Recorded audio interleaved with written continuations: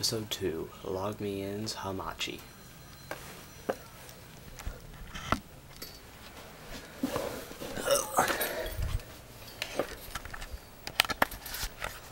Okay. We're back here once again. Hold on, let me up my screen. Okay,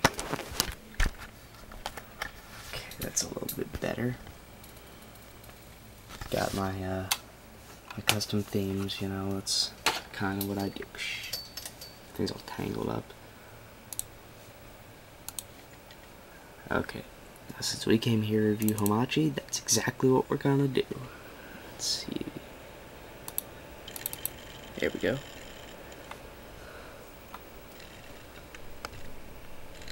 Oh, showed up over there. Well, this is Hamachi.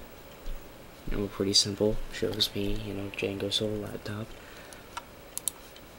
And, uh, in case you, like, don't know what this does, if you're one of the few people who don't, it uh, it works like this. What it does is create a local area network connection between you and whoever you choose to. It's really useful application when you're playing a game, like, uh, let me bring up my list here. Like, uh, Armageddon, or some private servers will use it, like NoobMS, Unreal Tournament, StarCraft, Total Annihilation, things like that.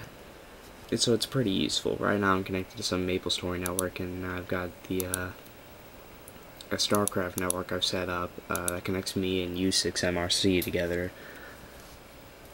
And, uh, you know, it works like that.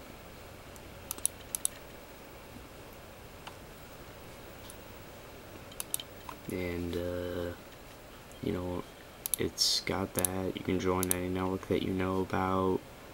Keep yourself away. There isn't much to really to say about this one. I'm just gonna realize that.